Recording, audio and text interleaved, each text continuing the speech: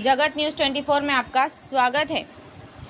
Samajwadi party के विकास के सुनहरे सपने थे कि वो ज़रूर पूरे होंगे। भाजपा के सभी वायदे खोखले साबित हुए, जहाँ समाजवादी सरकार ने सड़कें व पुल बनवाने का काम किया, वहीं विकास कार्यों को भाजपा ने रुकवाया।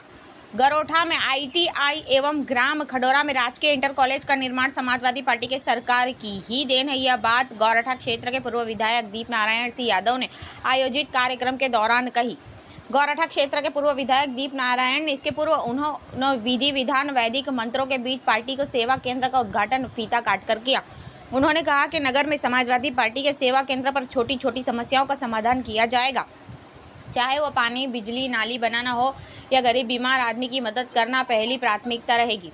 उन्होंने कहा कि समाजवादी पार्टी ने कन्या विद्याधन पेंशन योजना बेरोजगार भत्ता दिया। लोहिया आवास बनाने का काम समाजवादी पार्टी ने शुरू किया।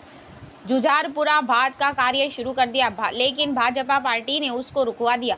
उन्होंने कहा कि भारतीय जनता पार्टी ने अपने पुराने दिग्गजों को भुला दिया और उन्होंने हाशिए पर डाल दिया और अहंकार भी भाषा पढ़ रहे। पूर्व विधायक ने कहा कि किसान आज आंदोलन कर रहे और 80 प्रतिशत किसान देश में है लेकिन सरकार बात नहीं सुन रही। केवल उद्योगपतियों को ही फ़ायदा देने की बात सरकार अड़ी हुई है।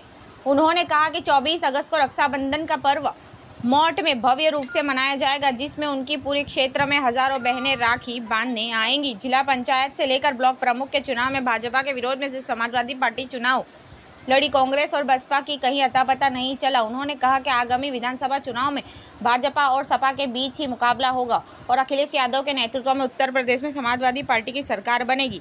रिपोर्ट बाई सुनील जैन, जगत न्यूज़ ट्वेंटी झांसी। बहुत सारे लोगों की जान ली गई है मैं कह सकता हूँ, उनका प्रभाव दिख रहा है। लड़ाई कितनी बचेगी चुनाव में तो ये तो नहीं कह सकते आज लड़ाई बीजेपी के साथ। लेकिन जिस तरह के हालात हैं, जनता में इतना आक्रोश है, महँगाई के मुद्दों को लेकर, कामों को लेकर, इनकी भाषा को लेकर, जिस गुरूर के साथ वातावरण बनाकर ये राजनीति कर रहे हैं, मैं कह सकता हूँ, जनता बार भ्रम तोड़ने वाली है। इनका विधायक जी, विपक्ष आप पर आरोप लगाता रहा है और लगा रहा है कि मोट में तालाब का और मून सिटी के बारे में कह रहे हैं।